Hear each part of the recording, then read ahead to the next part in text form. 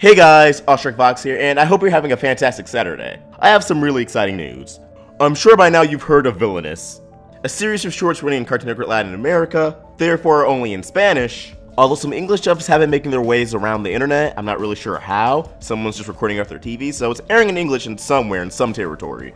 It's already having a huge fan base, and it chronicles the misadventures of Black Hat and his team doing very villainous things. And it reminds me a lot of Evil Con Carne, you know, the counterpart to Grim Adventures of Billy and Mandy, although it was very short-lived.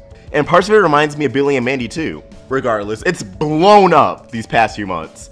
And the creator, Alan Iterio, I really hope I didn't butcher your last name. If I did, please forgive me, has expressed interest in bringing these shorts to America, having it aired on TV, and its attendant language.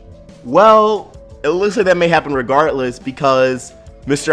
Recently had an interview, although the interview was entirely in Spanish, it seems to apply that a full series for Villainous is on the way. So huge props to Clint from the Rise and Fall Nickelodeon. Please follow that Facebook page. It is full of animation goodness and news. Definitely a reliable source, and he has a YouTube channel that he's planning to use again. He's been working on it, having it retooled, and from what I've seen, it's gonna be amazing. Definitely gonna be one of the best animation channels out there on YouTube. So I'll link his channel in the description and at the end of this video for you to subscribe. So yeah, he shared with me this interview and article, and he actually posted about it on his Facebook page. So let's read the translation. The success of the series has been so great that all over the internet circulate hundreds of images of the characters adapted to manga style drawings, with comments totally favorable since this is the miniseries that Cartoon Network's needed for years, reminding us of the golden age of the canal.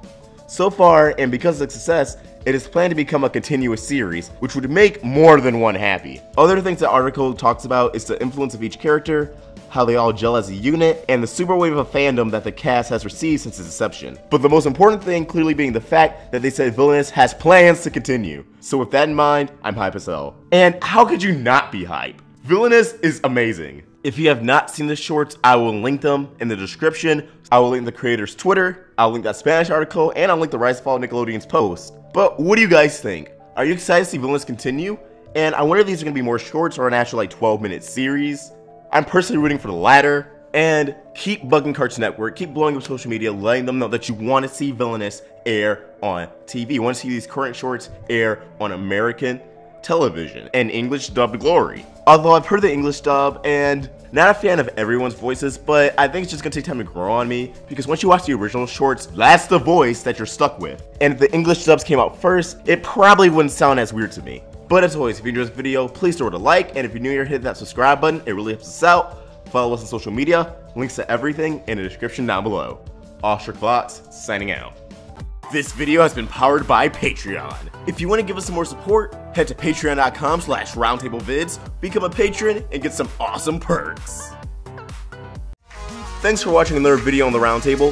If you want to get more involved with our community and watch videos from Let's Talk with Tom, Voxbox, and more, click the video right here. Or if you want to get some more of the animation goodness, watch some Crystal Clear or Meaning Monday, click the video right here. And please, don't forget to subscribe.